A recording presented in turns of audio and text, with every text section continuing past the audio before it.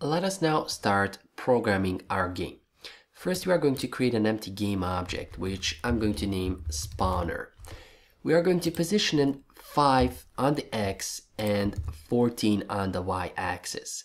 So this is really important. Again, this is because we are moving our, well, Tetris objects by one unit. So this spawner needs to be right here. We are also going to go in our scripts folder, create spawner scripts folder, inside of it create the spawner script and attach it on the spawner. Double click it so that we can open it here.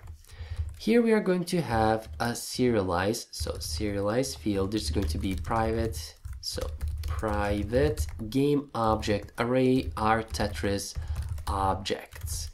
So Tetris objects. What we are also going to have here is a function that will spawn random objects. So this is going to be a public void spawn random. This is going to, as I said, spawn a random game object. So here we are going to create an int index is equal to random dot range from 0 up to Tetris. So Tetris objects dot length. And we are simply going to say instantiate passing here our Tetris objects and the element that's at index. For the position, we are going to use the position of the spawner, which is 5 on the x and 14 on the y that we set up right here. So 5 and 14. And going back in the script, so transform that position and for the rotation quaternion identity. And we are going to call it here inside of the start function. And let me just go here in our spawner, select our Tetris game objects array. We have seven of them. And we are going to drag and drop each of them or simply click on the circle and, well, add one after another. So we have I, now we have J. After that we have L. Next we have O. Next we have S, T, and finally Z. So this is practically for our spawner if I run the game now, we are going to see one game object spawned here, which is our Z. Again, if I rerun it, we have another one, which in our case is L. So we see it here, it's a little bit above the camera, but that's how it's supposed to be. So if I run the game now again, we have another game object. So anyway, our spawner is working.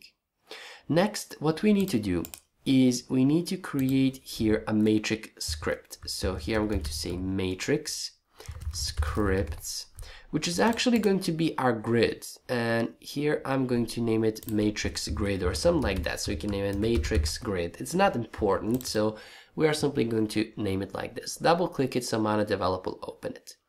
Practically inside of this script, we can remove mono behavior because it's not going to be attached on any of our game objects and here I'm going to tag it with matrix grid.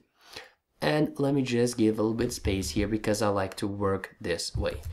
Because it's not going to attach or it's not going to be attached on any of our game objects we can remove the start and update function.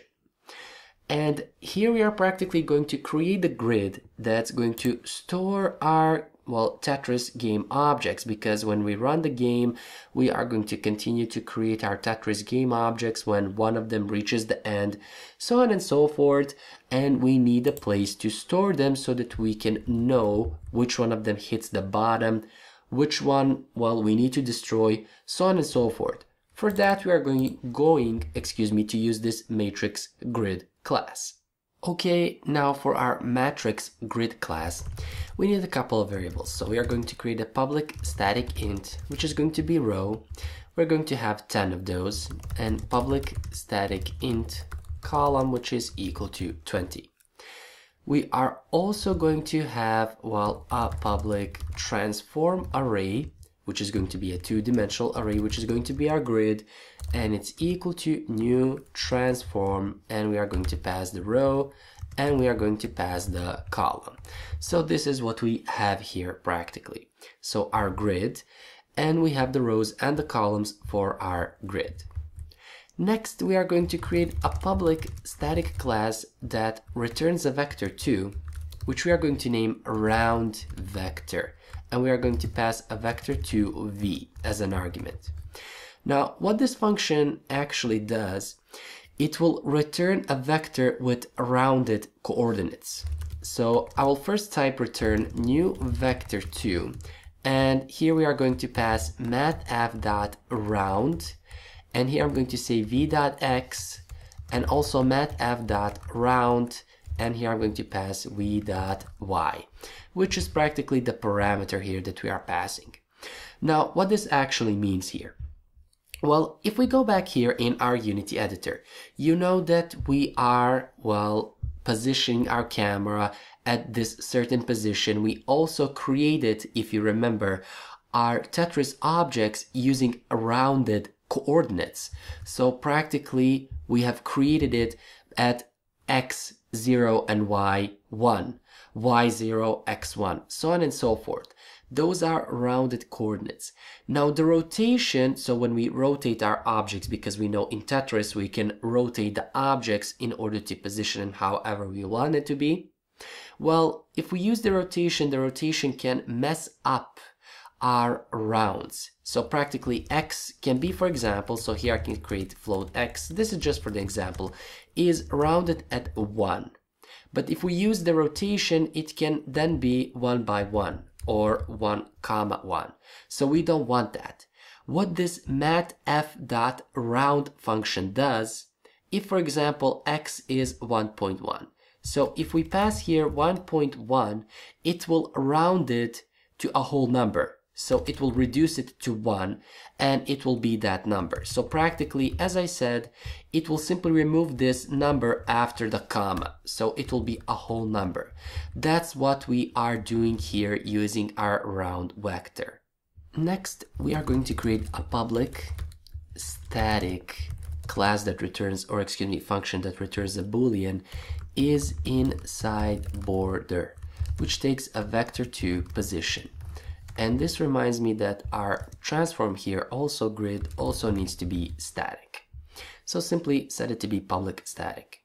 Now here we are simply going to say return and what we are going to do is we are going to check and we are going to cast this in an integer. So if our position.x is greater than or equal to 0, so here we are casting our, well, position x to an integer because we want it to be a rounded number again. So for example, if we pass 1.2, we are casting it to an integer, which is going to reduce it to 1. And here we are going to check, and if our position dot x, again, we need to cast it here, so int, and if our position x is less than the row, and also what we need to do is we need to say, again, casting it, if our position dot y is greater than or equal to 0. So this is going to return if we are inside the border. So if I go back here, these are our borders. So the red lines are our borders. It's not going to allow our, well, Tetris objects to go outside of these borders. That's why we are testing if we are inside of those borders. And we are using this function right here. So practically again casting here to an integer to round it to a whole number. If it's greater than or equal to zero and the same number is less than the row, which we defined here, and also our position y is greater than or equal to zero, then practically we are going to be inside of bounds. Otherwise, we are not. Next, we are going to create a public static delete row function, which takes an int y as an argument. So here I'm going to, well, practically create a new function. So public static delete row. Let me see what I did wrong. So public static void, actually. So public static void, excuse me. I was wondering what I did wrong. Anyway, here we have our delete row function. Here we are simply going to say for int x is equal to zero, as long as x is less than the row, we are going to say x plus plus or plus plus x. So why we are doing it like this, where practically we are first going to increment the x. So we know that plus plus after the x means take the x and after that give it, well, well, 1, add it 1, so plus plus. But this right here means first add 1 to it, then take x. So here what we are going to do is we are simply going to call our game object dot destroy function and here we are going to use our grid and we are going to pass the x and the y dot game object. So we are going to destroy the game object that's at x and the y.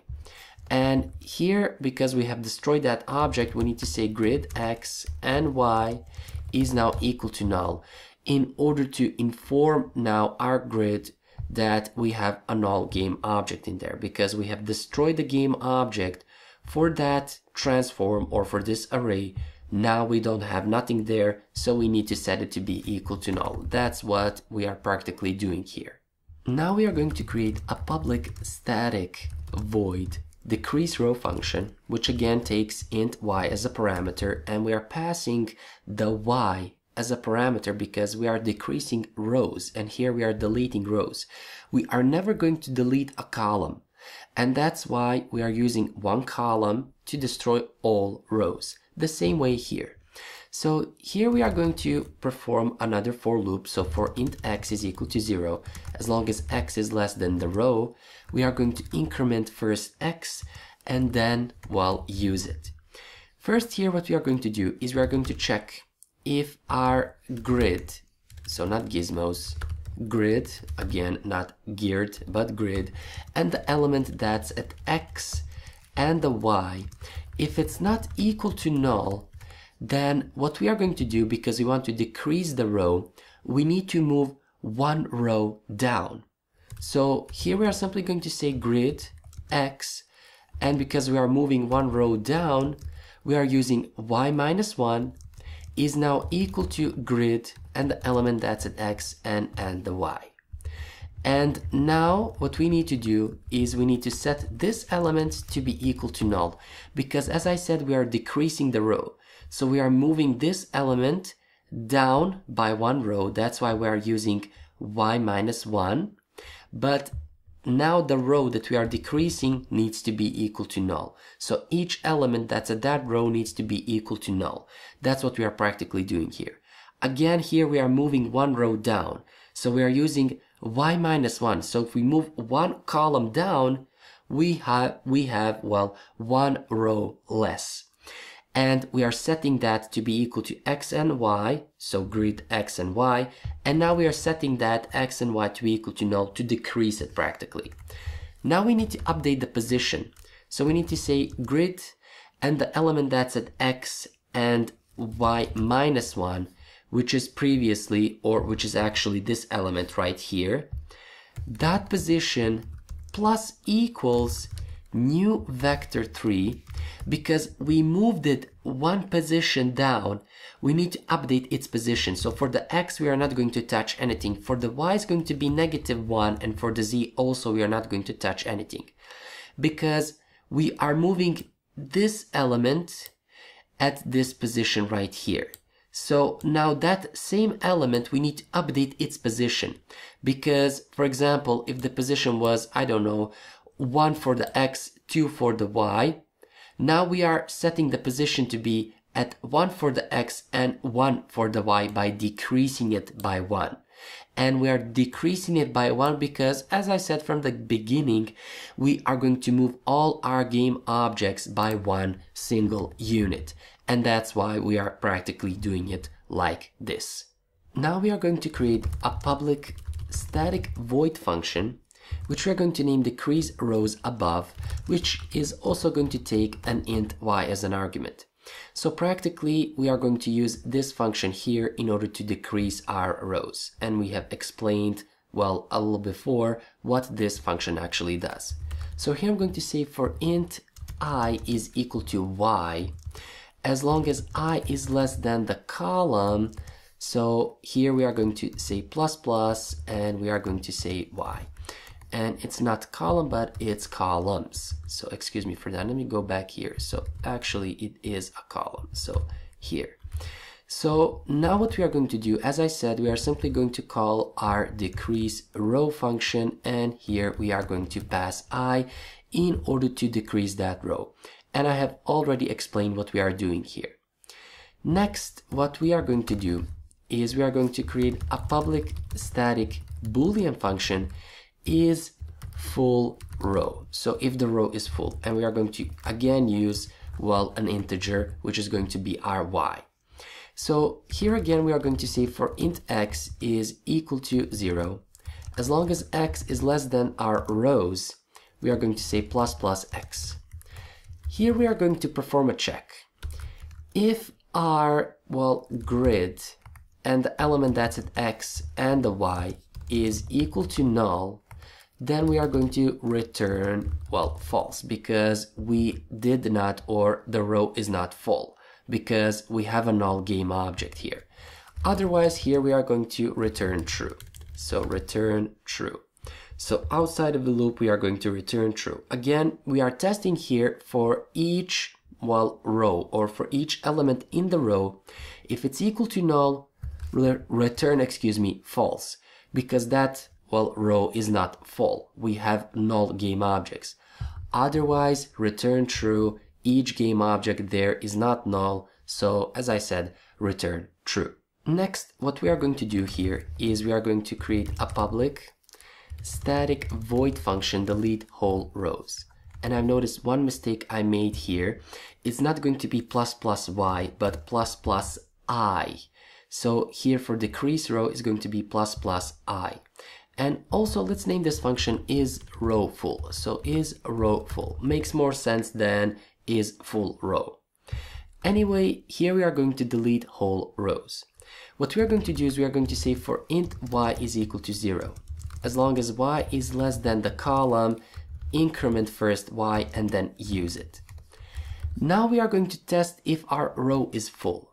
So if is row full, passing y, so here we are passing the y and we need to finish our if statement here.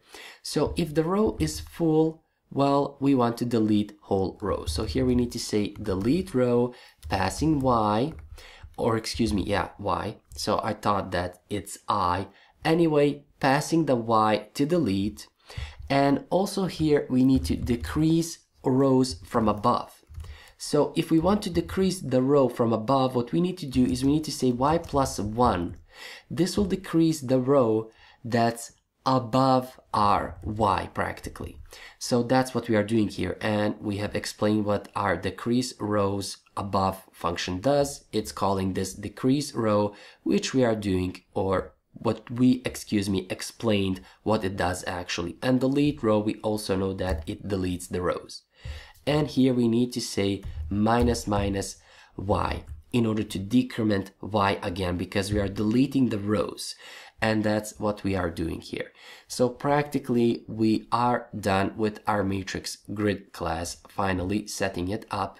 So this is the last function that we are going to use here. So our delete rows function. As I said, we are done with it. We are going to stop here and we are going to continue in the next video.